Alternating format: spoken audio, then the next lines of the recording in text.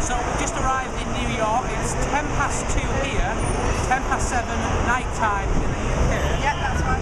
I'm absolutely shattered. I am absolutely knackered. We've been travelling for about 12 hours now, so pretty, feeling pretty rough. So sorry if I look horrible. We've just got through all the uh, kind of the questions and departures and stuff. I don't know about you, but I felt really guilty. They just look at you because they just ask you loads of questions and like there's no expression on the faces. I'm like, I feel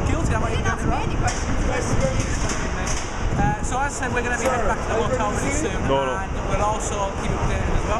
Yeah. What are we going to be doing tonight? Uh, we're just going to have a wander around, try and find a hotel, hopefully not get lost, um, settle in really, so it's going to be good.